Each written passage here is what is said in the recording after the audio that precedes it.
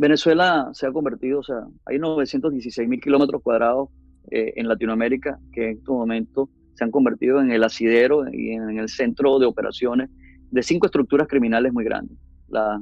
megabanda, los colectivos, los carteles de la droga, la guerrilla y el terrorismo. Eso no es una amenaza solamente en Venezuela, es una amenaza para la región, es una amenaza para toda Latinoamérica y obviamente para el resto del mundo. He dicho en varias oportunidades que eh, no nos extraña que en algún momento, luego de un ataque terrorista y desde luego las investigaciones, eh, se consiga que eh, uno de los terroristas tenía una identificación venezolana, aun cuando no ni, ni siquiera haya nacido en otro país. Así que yo creo que esto con todo respeto, lo que dice Inside the Crime, una organización, una ONG muy seria que hace estudios bastante pormenorizados y, muy profesionales, bueno, tienen su teoría. No puedo decir si eso forma parte de una estrategia del gobierno del presidente Duque para poner más peso sobre lo que ya existe. Eso existe. O sea, no hay no hay forma de ocultar, no hay forma que, eh, que Jorge Arreaza o el mismo Vladimir Padrino, que lo han dicho en varias oportunidades,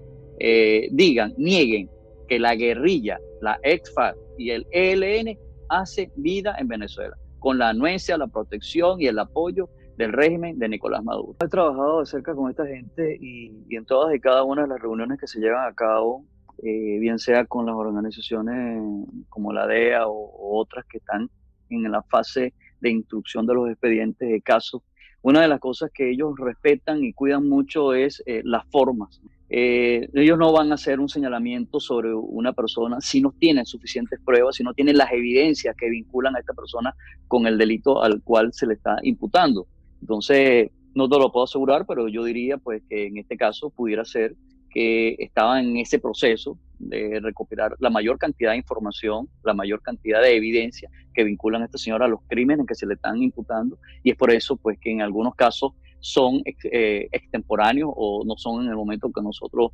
deseamos que, fuesen. Por ejemplo, varias personas me han preguntado por el mismo Jorge Arreaza, que inclusive violó, voló acá, o San Román y todo lo demás, que por qué no tiene algún tipo de, restricción o, de orden de, detención. Bueno, yo presumo pues, que forma parte de todo eso y que mm, eso lo que, lo que significa es que, número uno, la, e, e, el sistema de justicia no se detiene, eso no es que está paralizado ni siquiera con el coronavirus. Y número dos, todos y cada uno de ellos en su momento les va a llegar el momento, les va a llegar el punto donde va a existir un indictment y va a haber también una orden de arresto exactamente a la que hay con respecto a Maduro y a los primeros que salieron mencionados en el mes de marzo. Eh, yo no voy a pronunciar sobre las decisiones políticas del gobierno de los Estados Unidos, puesto que primero no lo manejo y segundo sería irresponsable de parte de decir qué es lo que ellos piensan hacer. Yo como policía, como una persona de ley, si tú me preguntas, yo diría que esto, forma parte de la, de, la elaboración de los casos y de tener los casos suficientemente robustos para poder proceder. Entonces,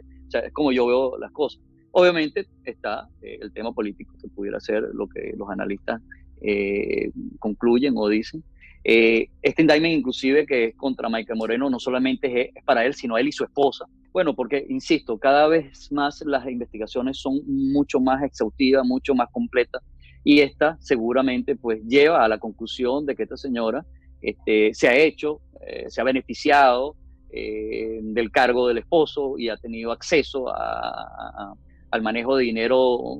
y que definitivamente pues la involucra en actividades criminales así dicen, así dice el Departamento de Estado. Por, Eso, eso va a suceder con el resto, con los demás también. Es decir, yo eh, eh, siempre he sido la teoría que no solamente es el individuo, es el individuo y eh, muchos de sus entornos los que están involucrados en todo esto.